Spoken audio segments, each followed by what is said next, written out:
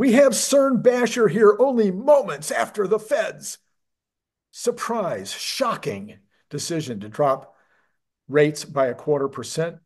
Cern, were you shocked and surprised? Absolutely floored, Randy. I was shocked. I thought they would raise rates by a full point today. so, with no surprise, the market seems to be flat about it. And the other, you know, very surprising thing is that Tesla is having trouble getting over 300. It's. Uh, it, I think it's entirely possible during our conversation that we reach that. So we should keep one eye on that and see how it goes. See what see if it happens during this conversation. it could. Pretty With exciting. the information that I'm about to impart, I think it's highly likely. That could be the it could be the whole thing. Yeah, even though no one's actually watching it until after the fact, but right, right. But, you know, this is this is recorded live or something. Isn't that how they describe what we do? Lively recorded, I think. Lively recorded. All right. Well, I'll turn over the show to you then.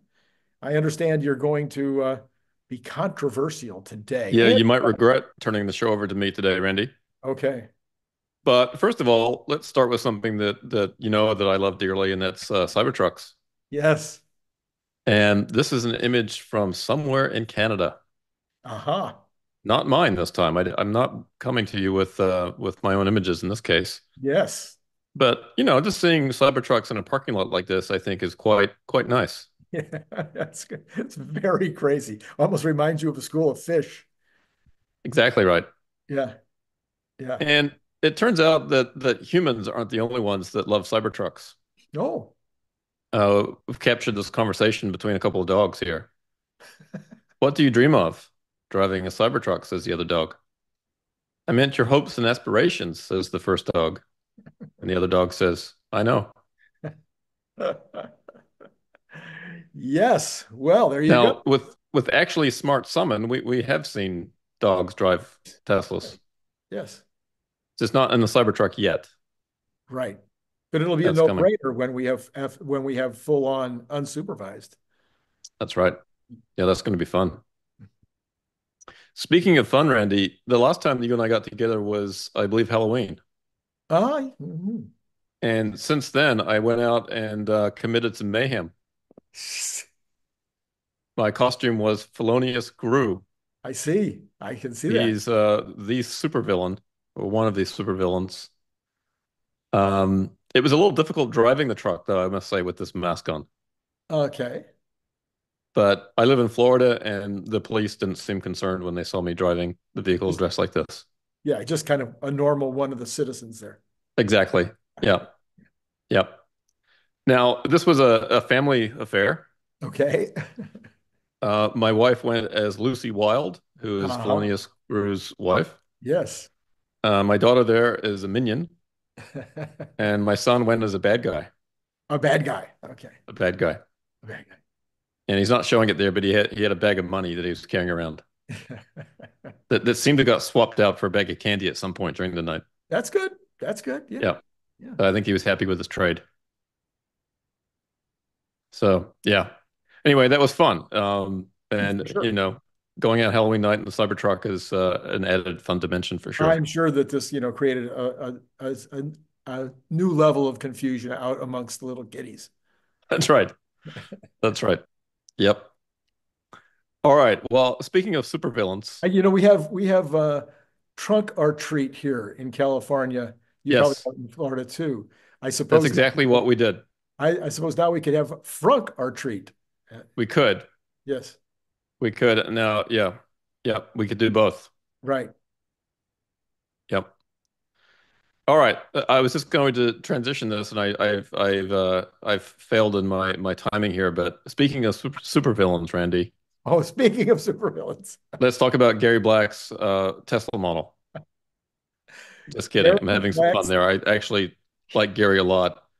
Um, he came out on October 28th, I believe, with this update to his model. Yes. Uh, increase in his price target uh, over the next 12 to 6 to 12 months to 300 from 270. Uh-huh. Um, and so, you know, what I often do is I see posts like this and I and I think about them and I I build models for them. And that's what I did for Gary's model. And I, I just want to share some of some of my thoughts around this. I also wrote a post about this where I might have been a little bit overly critical of Gary Um, but I was really trying to be just critical of some of the approaches he took in his model. Right, right. Not so him personally. to do with Gary personally, right? No. Gary's Gary's been on my show several times, and yep. Uh, and I have not been blocked yet because I have I'm not sure I've ever said anything unkind. Well, I, am blocked, and I'm not really sure what I said that that bothered him so much. But yes, I'm in the in the block club. Yeah, that's fine. Yes. yes. Anyway, here is a, a screenshot of the part of the model that he shared. Okay. Now, I have no doubt that there's more detail behind this. Um, but this is, was enough for me to take and essentially duplicate his model in a, in a spreadsheet of, of, of my own. Okay.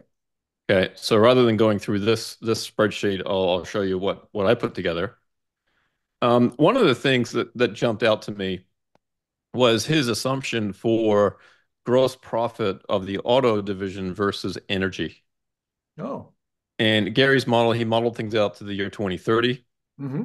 And just looking at this, this seems a little bit conservative to me for energy expectations. Right. Absolutely. He's got energy growing pretty pretty nicely, but still it's still a pretty small part of the business in 2030. Right. Um, so that was the first observation. Mm-hmm. Okay. So he's he's largely treating it as an auto company even even in 2030. So if I was to if I was to guess, it looks to me like he's maybe thinking energy is growing around 30% a year. I think that's right. Yeah. Okay. Yeah, which which is a healthy number. Yes. Um, although I think that Elon's expectations for energy growth is is probably higher than that. Right. Uh, he has said that he feels that energy will be as big as the auto division at some point. Now, maybe it's not 2030, but even so, I would expect by then it's probably contributing more profit than what is showing here. He also, uh, uh, just based on this one, he he has very little growth for 2025 on auto. Yeah. Yeah. Okay. That's all right. right. All right. Well, I don't want to get ahead of you.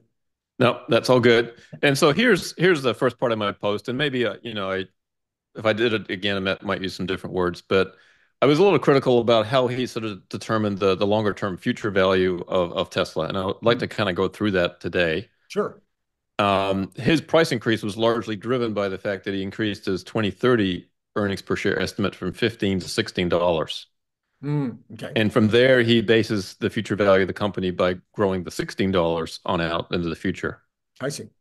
Um, I haven't seen any any numbers from him in terms of you know Tesla's actual revenue revenues, you know, after 2030.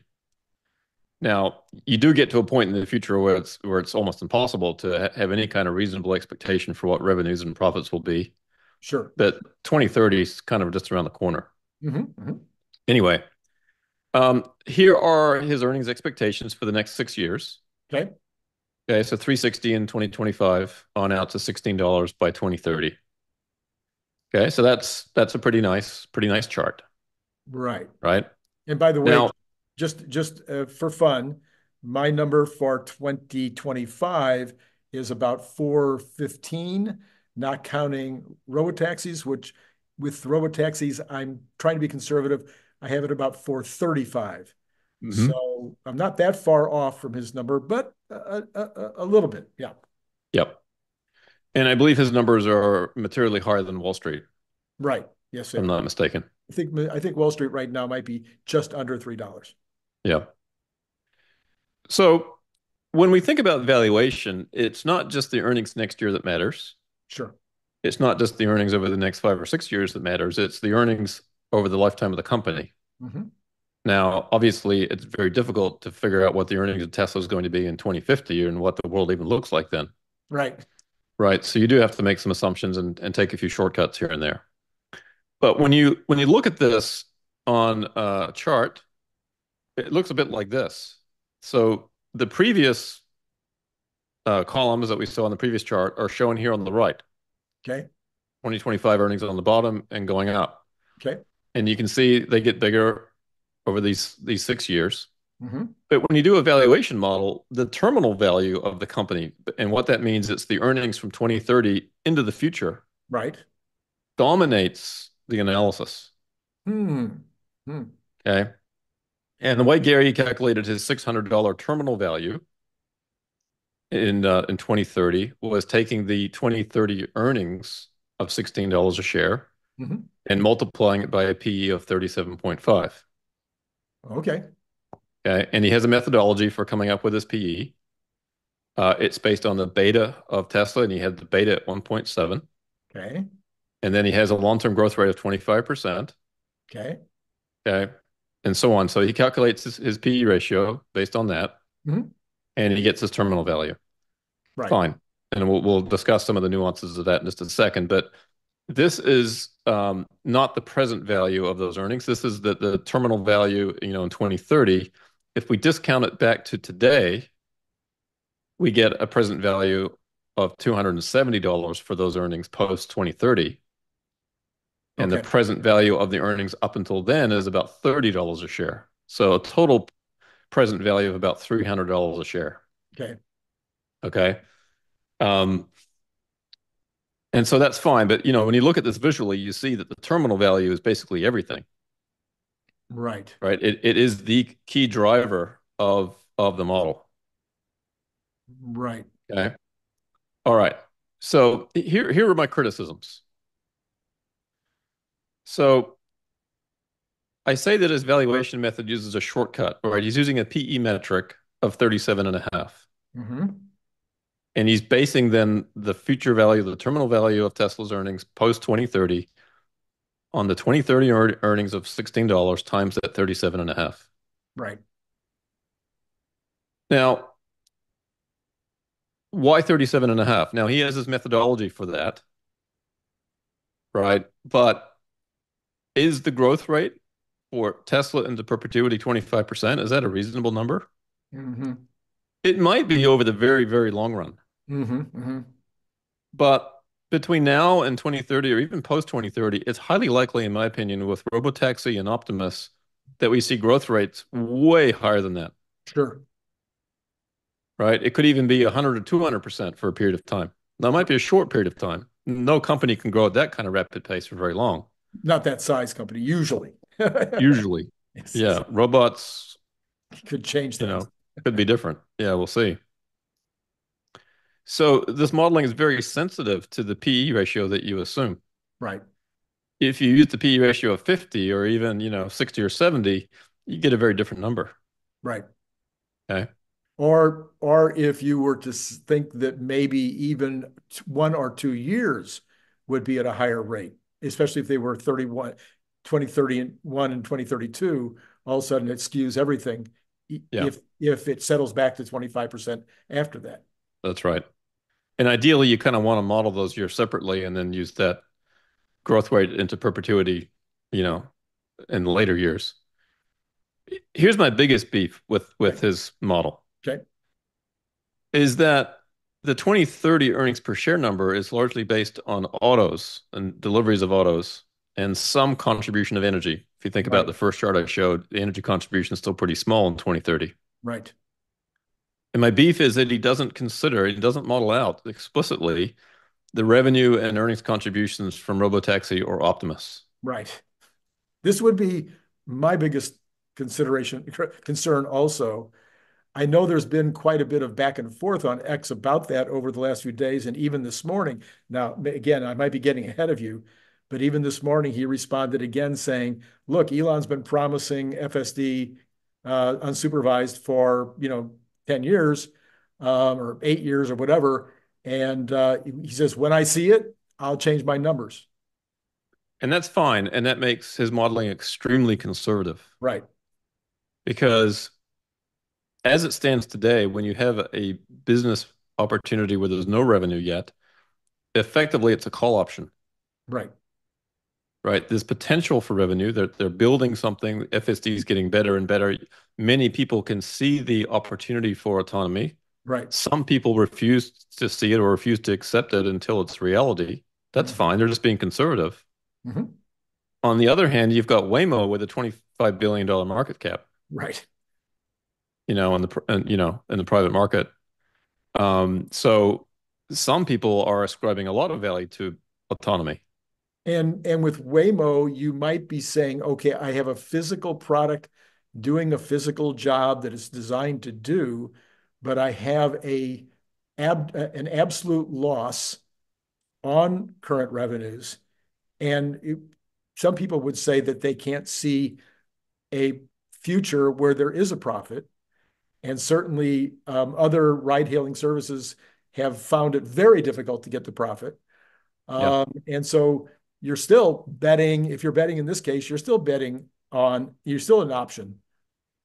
Yeah. And you raise a good point because a lot of people say, well, Waymo has a $45 billion market cap because they actually have revenue. They're actually producing a, you know, selling a service. They're actually giving rides to people.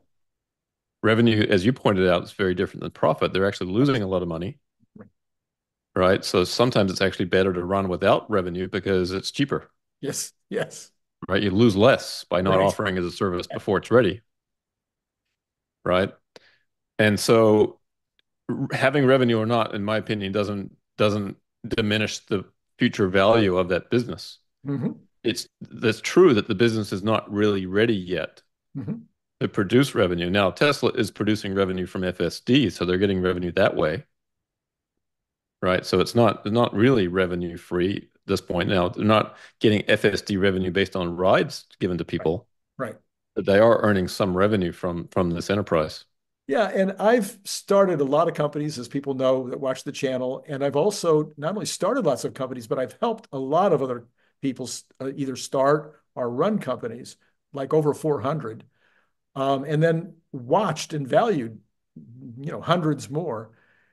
And and in analyzing something that is not yet producing a product or not yet producing revenue, not yet producing profits, I try to take into consideration the the the, the total potential for the company based on the risk of it ever being able to produce a product or service, the risk of it being able to produce revenues, and the risk of it being able to produce profit. So it isn't any one of those three things. It's all three combined that I'm always looking at. And I and I, I can tell you, I've I've launched or helped launch hundreds of products. And so over time, you start to see what you think is got a real chance of success. You're not always right. Right. And that can be for a lot of reasons. It could be because of management. It could be because the company doesn't have enough money. It can be because the company decided that they couldn't afford advertising. I mean, I can tell you a list of reasons why good products that might have had a chance sometimes fail. Uh, and other times when it's fluky and the product goes crazy, even though everything was done incorrectly. So in this particular case, in the case of Robotaxi, I think it would be ridiculous to not give it value.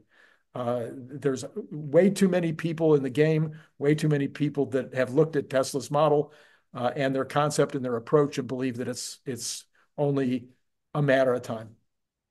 Yeah. My my view on it is that Robotaxi and Optimus both have a non-zero probability of being, in my opinion, materially large businesses. Right. So even if you want to build a model and then assign a low probability to that model, fine. But go through that exercise, actually do that work and see what you come up with. Right. Don't don't just wave your hand and say, it's not going to happen or there's no revenue. Elon's taken all these years. It hasn't happened. Therefore, it's not going to happen. Right. In fact, maybe they've taken all this time to build something that's going to be incredibly, you know, incredibly important to the company. Exactly. Right. It's not like they've just been wasting these this this period of time, whatever period of time it is. Mm-hmm. Now, Gary does say that, you know, adding Robotaxi revenues to his 2025 valuation seems premature. Fine. I agree with that. No problem. But from what I can tell, he doesn't consider it even in his 2030 number. Right. So so where does that premature time period begin and end? Mm-hmm, mm-hmm. Or end, I guess, is the. There's another thing too, which I find unusual in a lot of the valuations of the of Wall Street. Yes, there is an Elon Musk valuation. There's a there's a there's a an optionality to Elon Musk's brain. Mm-hmm. But let's say Robotaxi and Optimus never came to market. Well, I'm guessing that maybe that would free up time for Elon to start doing VTOLs or start doing um, Optival-based HVAC systems are houses that are completely built around first principles. I mean, he's got so many ideas and so many directions that he could take that that optionality even should, I think, be part of the equation. Absolutely. In my opinion, that would be lesser, but yes, that's part of it. Um, and that relates to his track record and his ability to execute and so on. Right. Despite what people say that Elon's late and doesn't deliver, well, that's really, you know, he he has delivered. It just takes time to deliver things that have never been created before. Right. Um, in terms of Optimus, you know, absolutely. Like the robots aren't there today, but you know what? They can already do useful work. Yes. And it's just this question of iteration and the speed of that iteration, how long it takes. That's that's the only question, in my opinion. Mm-hmm, mm-hmm. Not whether the robots will be useful or even have a, a business around that one day. They they will. Yes, yes. Um, it's more of a question of of timing of that and and the scalability and so on. Um, so so that's that. The the other thing that that Gary uh, took a little bit personally, I think, in my critique of him when I said he pulls numbers out of thin air, and maybe this is a bit too harsh, but he doesn't share with us how he came up with the 25% growth beyond 2030. And without that, I'm kind of just led to believe that he's just kind of pulling a number out of out of the air, right? There's no there's no backup in terms of how he arrived at that. Right? He's not saying, "Oh, I'm assuming that that the auto business you know, slows down to zero growth and I'm getting 25% growth from Robotaxi and Optimus. He, he doesn't make that kind of statement. Sure. Right. So I'm, I'm left wondering where, where does that come from? It seems like a, just kind of an odd number to pick. Right, right. Right. It's, it's a pretty high number to assume a company's going to go at 25% into perpetuity. Right. Yeah. Right. You better have a good reason for that because there's not many companies that, that you would say that about them or, or, or vice versa, given the history of Tesla, given his given Elon's history, it might be a low number. And why would it be so low when you do know that there is a there are already stated products that Elon says that he would like to do someday. Yeah. I haven't even talked about all of them. Boats, uh, container ships. I mean, there's lots of places where this company could go based on Elon's stated uh, products that That's right. make sense. I mean, they even make sense. Yeah. Just transitioning the world to sustainable energy is a big, a right. big opportunity for many decades. Yeah. And, and, maybe that's where he's getting the 25% growth from. I, I don't know. He, he, he doesn't share that with us. Right. So maybe my choice of words was bad here and accusing him of pulling out of thin air. It's a little bit harsh. Um, I'm sure he has his reasons for the number. He just didn't share them. Okay. All right. Okay. A more technical criticism, and this is a minor one. You know, he assumes, he assumes a PE to growth ratio of 1.5 and a beta of 1.7. Mm-hmm. Now, we know that betas are not stationary. As companies mature and become larger, the volatility of a stock can go down materially. Sure. Right. Look at the volatility of Apple over the last 10 years. It's come down a lot. Mm-hmm, mm-hmm. And I would expect the same thing to happen with Tesla.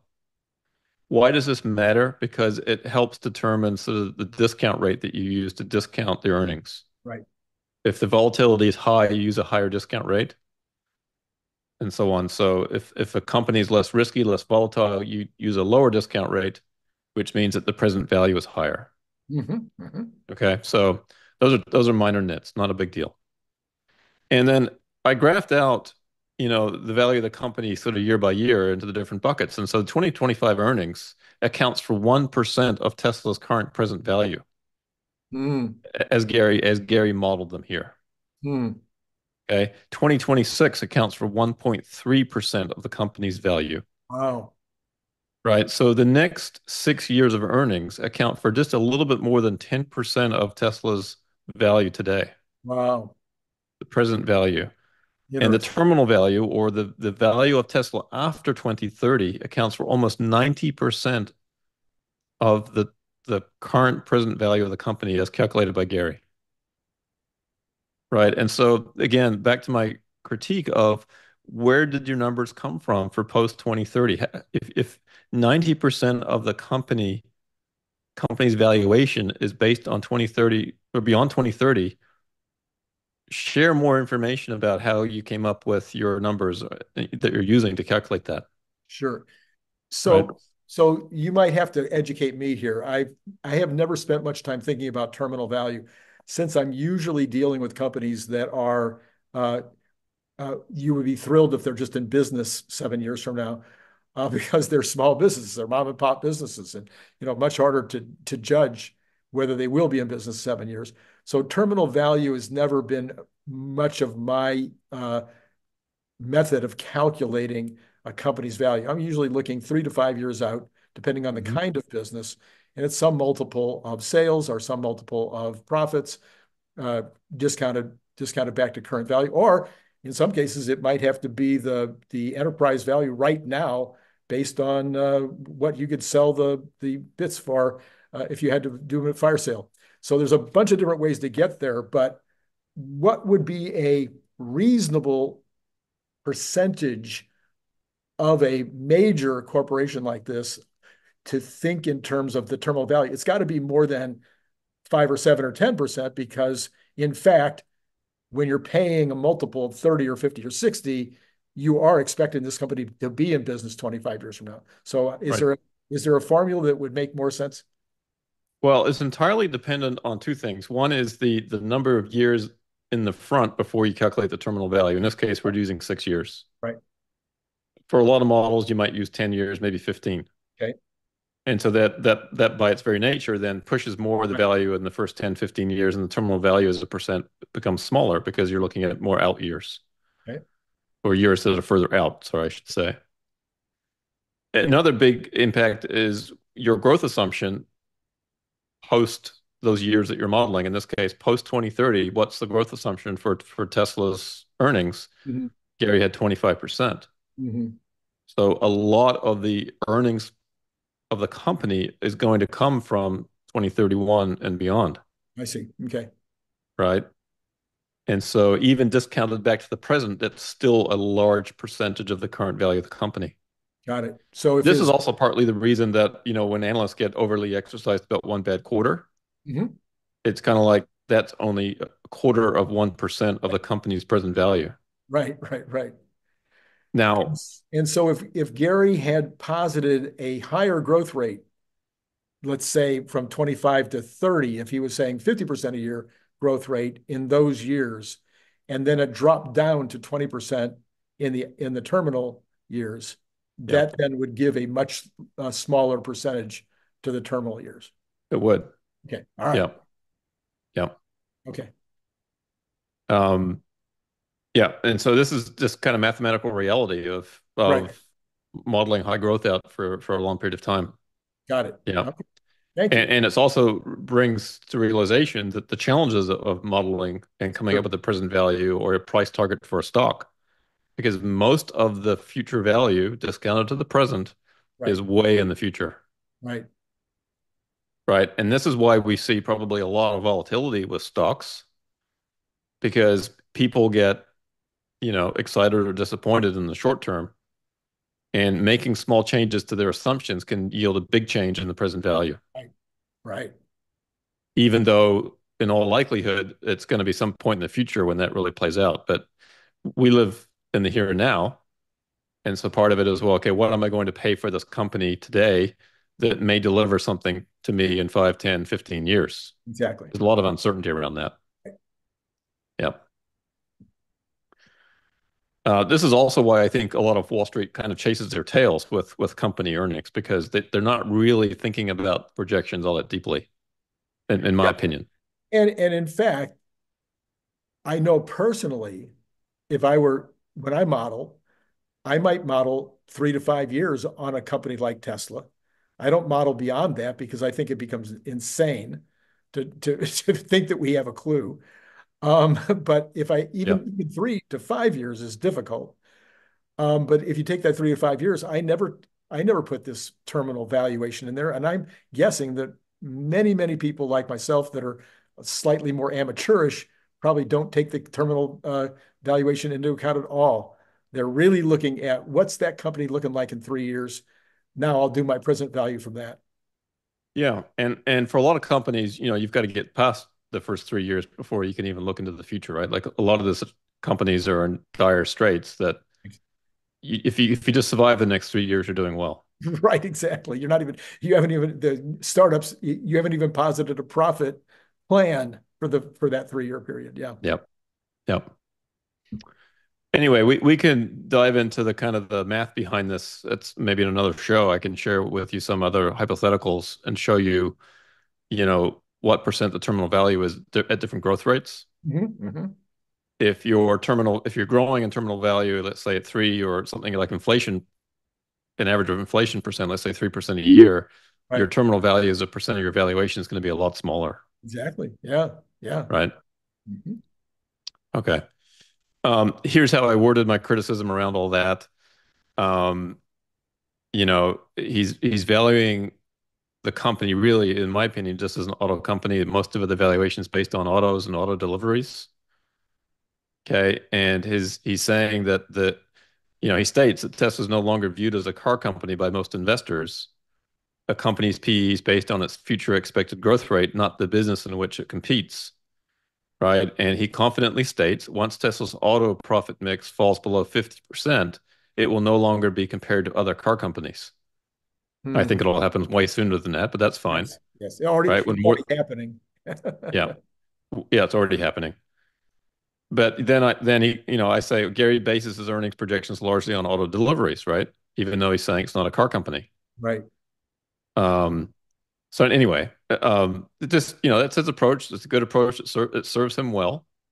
Uh, you know, um, some, something else just popped into my mind. If Elon had made a decision that, for instance, let's say that he decided five years ago that F, that FSD was gonna, always going to be just an ADA, and it was never going to be fully autonomous, and so forget the robotaxi business, he would have strategically changed his approach to the sale of the vehicles.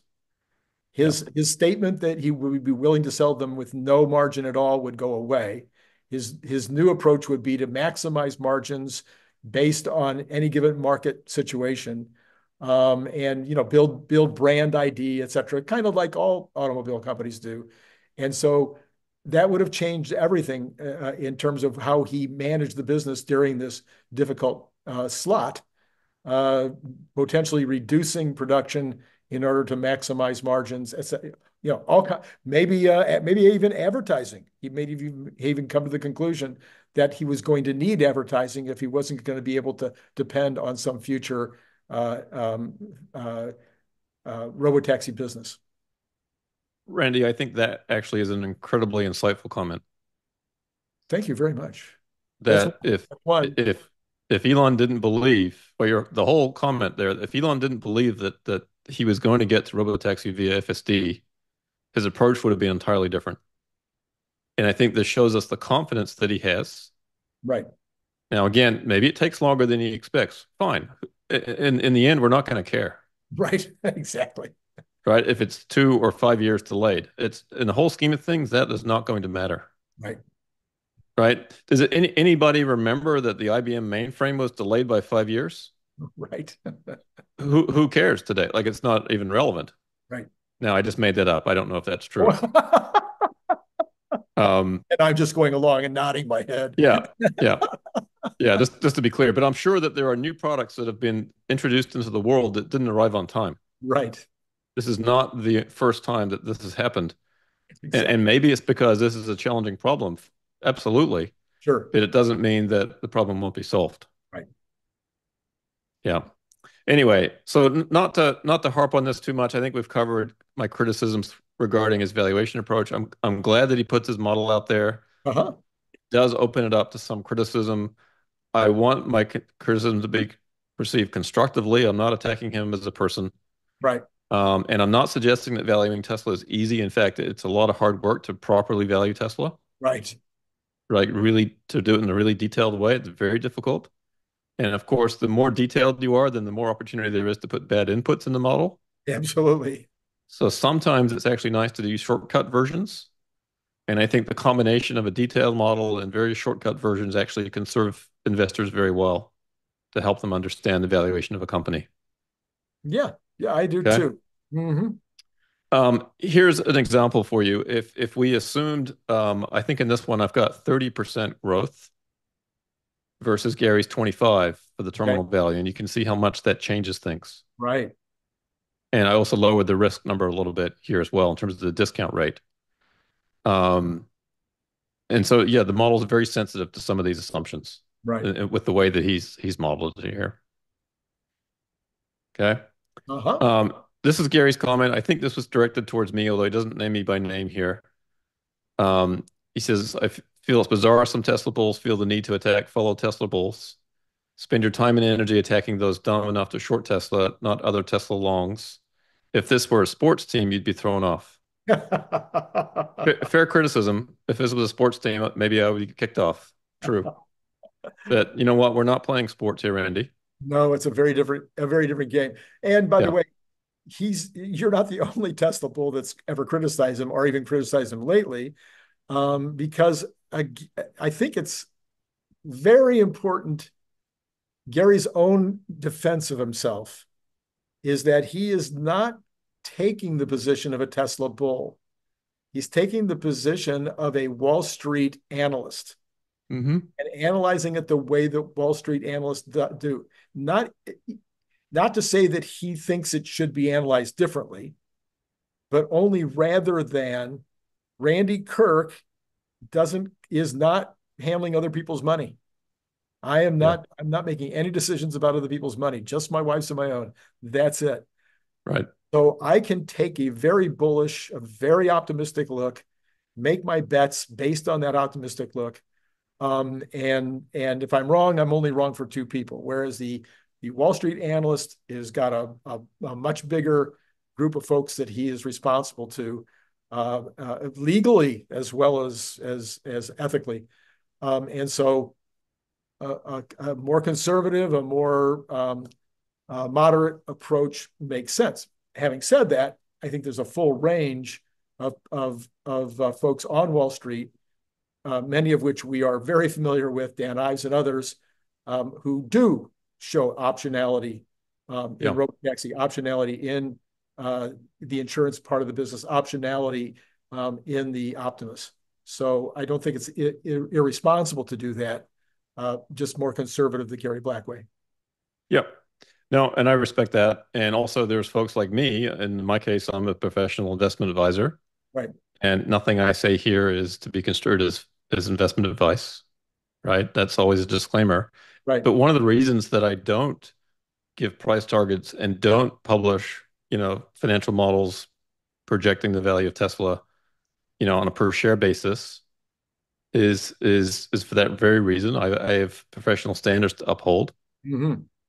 Um, also, it's very difficult. Things can change. You know, I'm I'm not I, I'm not desiring to be. It's not my goal to be precisely right in the short term. I'd like to be approximately right about something over the long term. Sure. And so most of my analysis is focused on that long term, you know, beyond 2030, frankly, is what I care more about. Right. Right. And I hope I've shown here today sort of why, because most of the value of the company actually is going to accrue, you know, post that date. And so it's important to be looking out Mhm. and thinking about what Tesla will look like and what its businesses could be like at that point in time. Exactly. Right. So I, I'm not really in the game of coming up with, you know, near-term price targets. I, I don't really know where Tesla's going to trade at. Uh, even though right now we're knocking on the door of $300 a share today. That's that's great. But that's that's not my focus. Yeah. And so, uh, to your point, um, we still have not crossed 299.74. So there, there, we're still 26 cents short of hitting the 300. So what are you going to do? Another day, Randy. Another day. Another day.